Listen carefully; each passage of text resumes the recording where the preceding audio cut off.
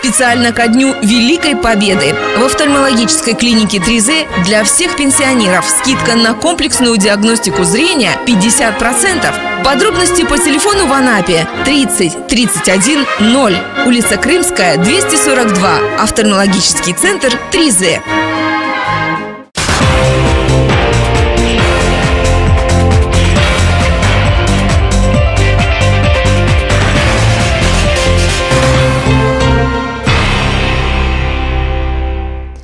Здравствуйте! В эфире телеканала РЕН-ТВ новости Анапы регион в студии Ирина Меркурьева и сегодня в выпуске.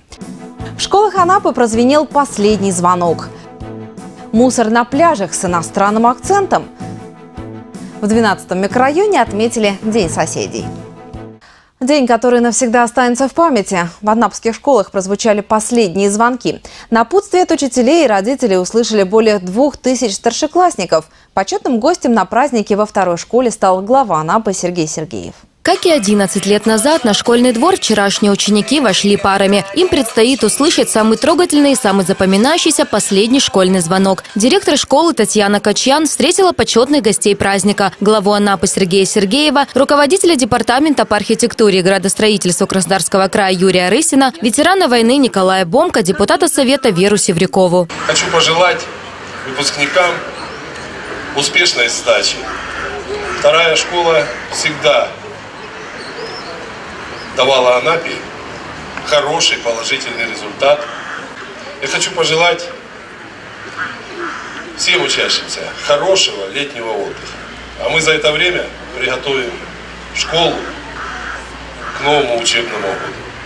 Хочу пожелать родителям, чтобы дети вам летом доставляли меньше беспокойства, больше положительных эмоций. Мы выделили более 25 миллионов рублей на летний отдых будут работать и школьные площадки, и внутридворовые. Гости праздника вручили школе подарки. На торжественной линейке прозвучали стихи о годах учебы, песни о школе, напутственные слова. По доброй традиции выпускники исполнили прощальный вальс. И вот тот самый волнительный момент – долгожданный последний звонок. Не хотели этого дня, потому что очень грустно расставаться со школой, и очень не хочется уходить, во взрослую жизнь все-таки вступать. Я заплакала, мне столько эмоций, потому что я, я очень любила наш класс, люблю наш класс. Теперь желаю всем сдать хорошо экзамены, и хорошо устроиться в жизни. Торжественная линейка подошла к концу. Воздушные шары взмыли в небо над Анапой. Сельских школах Анапы тоже прозвучали последние звонки. Наша съемочная группа побывала в 11-й школе села Супсех. Школьные годы промелькнули, как в калейдоскопе. Много чего было. Первые победы, поражения, первые жизненные уроки, первая любовь. Последний звонок, он всегда грустный. Прозвучало много добрых пожеланий и напутствий. Успешно сдать экзамены, успешно поступить в высшее учебное заведение, достойно представлять муниципальное образование курорта Анапа в своей жизни, никогда не забывать тех людей, которые дали вам эти знания, которые дали вам путевку в жизнь и белые фартуки закружились в прощальном школьном вальсе.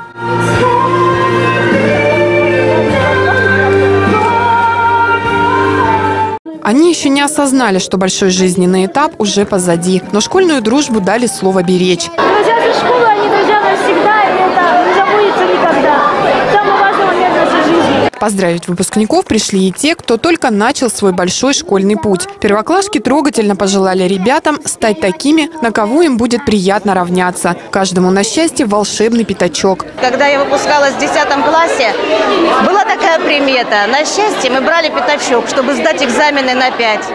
И поэтому сегодня мне от души захотелось пожелать ученикам, чтобы они успешно сдали все экзамены. А, буквально на этой неделе я бегала с мешочком счастья, с этими монетками. Через всех учителей они прошли, через руки всех учителей, а, с наилучшими пожеланиями успешно сдать экзамены. Они прижимали их к сердцу, они закрывали глаза, они шептали этим монеткам для того, чтобы они хоть как-то поддержали этих детей на счастье. Школьный колокольчик закрыл уходящий учебный год. Улетели в небо шары, а с ними и детство. Впереди выпускные экзамены и взрослая жизнь. Все дороги открыты. Уже сегодня проводился первый экзамен для выпускников в рамках государственной итоговой аттестации в форме ЕГЭ. Экзамен по выбору литературы, географии проходил на базе городской средней школы номер 6. 56 выпускников 11 классов общеобразовательных школ сдавали литературу, 7 выпускников – географию. Как отмечают по итогам в управлении образования, в ходе проведения экзамена нарушений не установлено.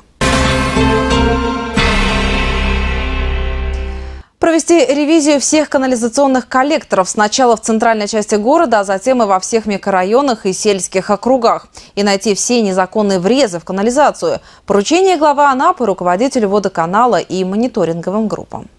Совещание на серьезную тему загрязнения моря сточными водами прошло в администрации в субботу.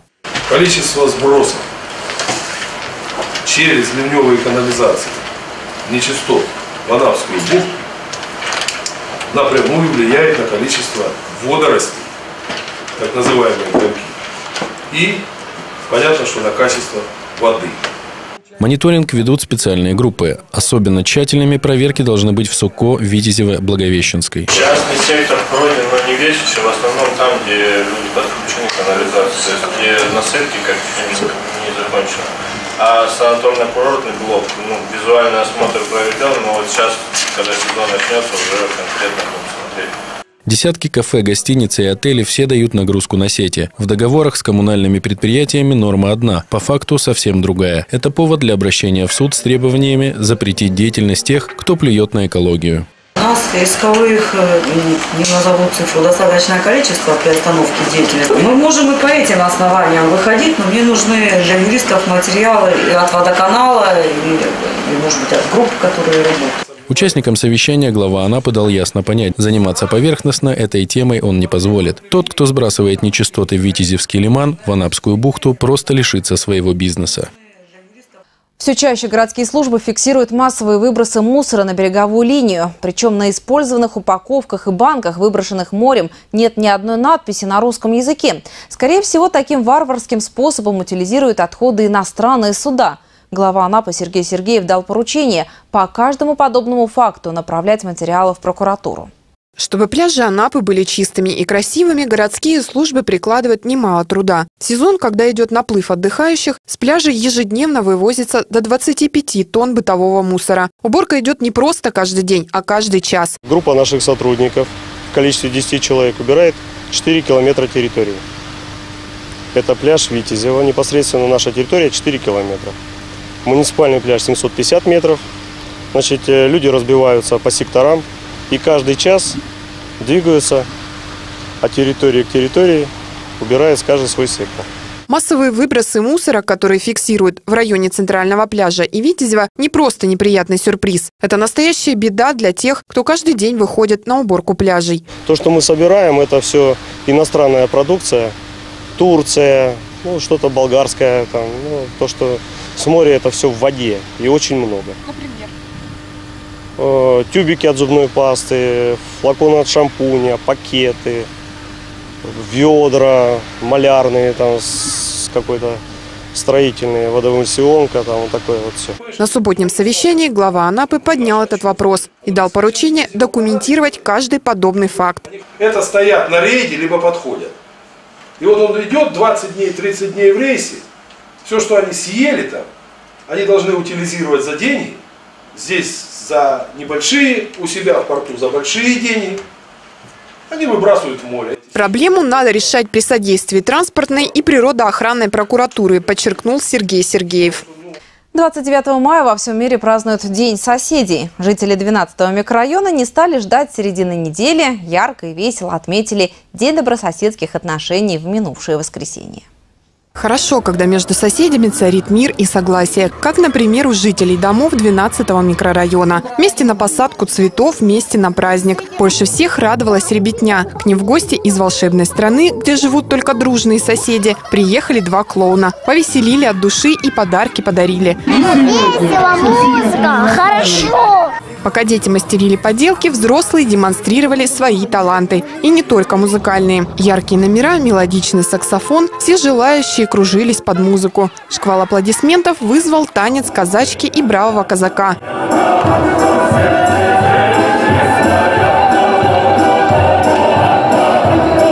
Дружить с соседями – дело хорошее. Потому что живем все-таки вместе, рядом. А бывает, живем в соседних квартирах и видимся раз в год. Соседи у нас хорошие, очень приятные мамы, с которыми можно погулять, провести время. Получился настоящий семейный праздник. И пожелания звучали соответствующие, чтобы был мир, понимание и крыша не текла. Приближается самое долгожданное время года. До лета всего 7 дней, но Анапа уже распахнула свои двери отдыхающим. Самый солнечный в стране курорт уже готов к курортному сезону. Цветочные часы отсчитывают последние минуты до начала летнего сезона. Ласковый май радует солнцем и теплом. Пляжи побережья готовы к наплыву туристов. Идет сборка и установка навесов, шезлонгов. Пляжи вычищены и выровнены. Удобно расположились под солнцем первые отдыхающие. Здесь очень хорошо. Теплое море, песок белый, все прекрасно. На центральном городском пляже уже людно. Морская вода всего плюс 19 градусов, но желающих искупаться немало. Второй раз в Анапе. Есть изменения, много чего изменилось. Все отлично, пляж. Пляж замечательный, набережная тоже хорошая. Вода, ну, для мая еще холодновато, а так тоже вполне для купания уже пригодно. Хороший город чисто, и особенно улица чистая у вас. Первые детские группы прибыли в анапские здравницы. Подготовленная к лету набережная яркими красками и цветочными композициями манит прогуляться. Для курорта летний сезон – время напряженное. Кипят подготовительные работы. Она по традиционно встретит своих гостей во всей красе. В минувшую субботу в детском парке «Островок сказок» для членов клуба молодой семьи «Вера, Надежда, Любовь» прошла спортивная эстафета «Семейный забег». Наша съемочная группа побывала на мероприятии. Перед началом эстафеты бодрая зарядка. Пять семейных пар соревновались не только в скорости прохождения дистанции, но и в ловкости, умении найти решение любой задачи. Молодая семья Коховых принимает участие в забеге уже второй раз. В прошлом году Людмила и Александр заняли третье место. Объединяет э, семьи, семьи становятся дружнее, не только дома. Дома мы сидим в основном дом, работа дом, какие-то домашние дела, а это вышли, пообщались друг с другом, с другими семьями, какой-то обмен опытом, чем-то, какими-то знаниями. Участников эстафеты ожидали разные интересные станции. Пары бегали завязанными ногами, мужья пришивали пуговицы, жены забивали гвозди. Вместе стреляли в яблочко, выполняли интеллектуальные задания. Андрей и Мария Павленко участвуют впервые. Мария – экс-руководитель клуба молодой семьи, сейчас в декрете. Три месяца назад родила двойняшек Елену и Анну стараемся, стараемся не пропускать мероприятия, которые организованы э, как в городе, так и внутри управления по делам молодежи. Главное участие. Посмотрим, как вы пришли э, в себя после родов, так как прошло не так много времени. Каждая семья получила яркие эмоции от прохождения эстафеты. Первое место завоевали новички клуба семья Ивана и Дарьи Кисляк. Второе место за семьей Виктории и Алексея Кузимук, а бронзу забрали Мария и Андрей Павленко. Завершит выпуск прогноз погоды.